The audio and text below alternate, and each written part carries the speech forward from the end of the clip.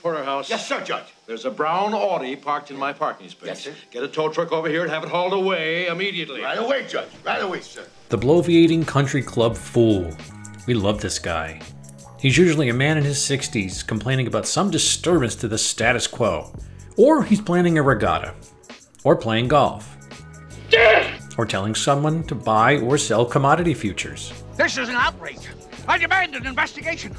This is, of course, when he's not pulling the strings on something nefarious. How much better can you eat? What can you buy that you can't already afford? The future, Mr. Gittes. The point is that for a long time we had access to a credible bad guy in movies, someone who we could safely assume was a debauched enemy of decency, bearing little concern for people outside his class.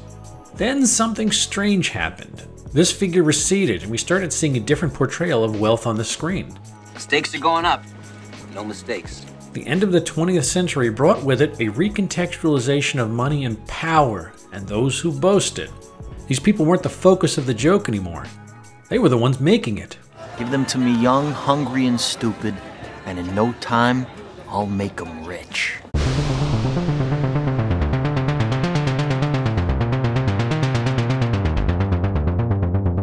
After the experimentation and standardization phases of filmmaking's early days, the art form snapped to attention in a big way during the Great Depression, when it gave people a form of escapism they hadn't had before. The release of sitting in a darkened communal room was a real boon to the masses thrown a loop by the market crash of 29, and the worldwide instability auguring the war to come. A filmmaker I always think of is Preston Sturges, whose heyday was the 1940s. He had access to money while growing up and lived an exciting life between America and France, so naturally he chronicled glamorous rich people in their jet set lifestyle. His movies are slick stories with attractive people bantering via whip crack dialogue. Dude, by the way, my name's Pike. Oh, everybody knows that. Nobody's talking about anything else. This is my father, Colonel Harrington. My name is Jean. It's really Eugenia. Come on. The feeling I get from a Sturges film is that his characters are doing exactly what you'd be doing too, given the material resources. And for good measure. Sullivan's Travels features a kind hearted millionaire who dirties himself up to furtively mingle among the hoi polloi, on a mission to find the best way to elevate the American spirit. There's a lot to be said for making people laugh. Did you know that's all some people have? It isn't much, but it's better than nothing in this cockeyed caravan. The point Sturges is making is clear. Millionaires are clever, they have your best interest at heart, and their oversight of vast sums is sensible because they are very smart and well intended. It's just always been this way. This is great fun. I've never bought things for a girl before. I mean, in any such quantities. Later in the 20th century, coincidental with the explosion of the American middle class, we see the filmed picture of wealth changing with who gets to tell the story. And that is why this marijuana, which I am told is particularly pure in form, and is what I propose that you indulge in here with me. The boomers were in full force, as were post diaspora, first generation Jews. A line was drawn after Vietnam and Watergate. Power was not to be trusted. Let me ask you a question. One, Hey, I- yeah, creep. What are you bothering my chick for? I, no, I'm not bothering her. I just wanted to ask her a question. You're bothering us. Amid all the Chinatowns, Parallax views, and Serpicos and their nuanced visions of class and power, my eye always returns to the ingenious creation of Ted Knight, Judge Smails. I want You'll get nothing and like it. The authors of Caddyshack knew exactly what they were doing, sending up the gray haired wasp meanies they remembered from their childhoods. Doug Kenney, Brian Doyle Murray, and Harold Ramis were Midwestern reared comedy nerds, acting naughty and misbehaving in the back of the class. They didn't care whose toes they stepped on, so long as they provoked a response from the boorish. I bring up Caddyshack very intentionally because it was released in 1980, the year America experienced a political sea change. The Reagan era began, a momentous eight years in history which, in retrospect, dictated how the nation would proceed far beyond his two terms. There have been times in this office when I've wondered how you could do the job if you hadn't been an actor.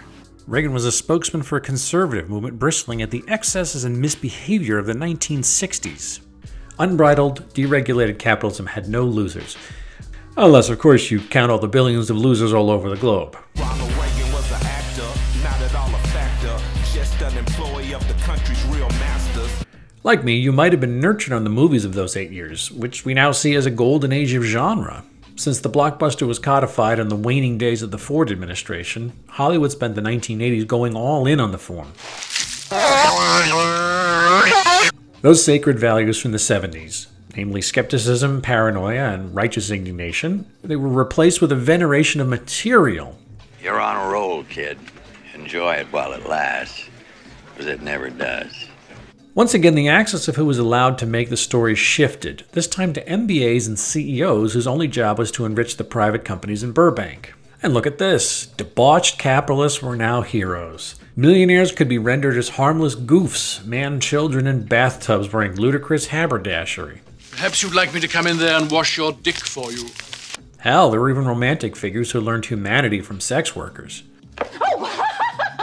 We weren't watching Jake Gittes be crushed by entrenched power. We were seeing a colossal misread of money equaling personal worth.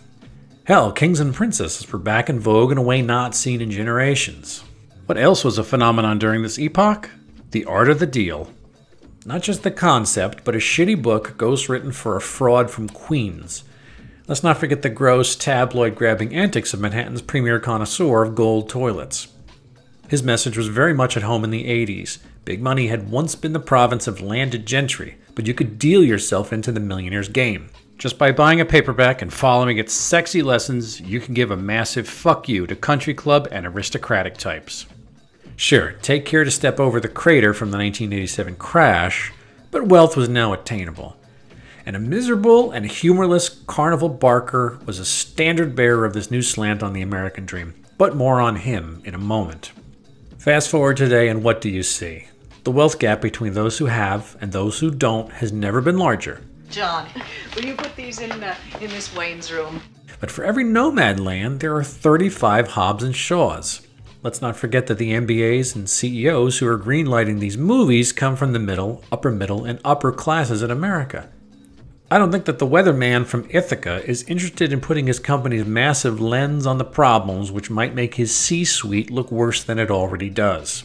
So it's not like there aren't withering portrayals of the wealthy coming out of show business, but when they do, they're often misinterpreted. I have been a rich man and I have been a poor man, and I choose rich every fucking time. Instead, the brilliant armored billionaire from the movies who saved the universe is a benevolent Elon Musk stand-in, played by a very charismatic actor. No, no, no, not not this one. What are your superpowers again? I'm rich. But you see my point either way. There are enough images of grandfatherly type visionaries or quirky media moguls to change the subject of whether or not wealth centralization is a terrible idea. In the end, Judge Smails appears to have the last laugh. Income inequality is at record levels as a meager few hoard lucre. Gambling is illegal at Bushwood, sir. He's not gambling because the game is fixed in his favor. The image of the wealthy has been sanitized, and more importantly, the poor are rarely shown on screen in any kind of relatable fashion. Visual entertainment in America begins with the middle class and only goes upward, and most images of poverty are elided because they're either a buzzkill or inconvenient, or they're made into such a burlesque that they lose authenticity. You got to decide. You want to be somebody or not? Smails and his country club cronies run the studios. They run the hedge funds. They run the theater verticals. They run everything. And you know, they even managed to use information warfare to get their guy elected in 2016. And if you need a last bit of sobering proof of the wellspring from which movies can come, always, always read the credits.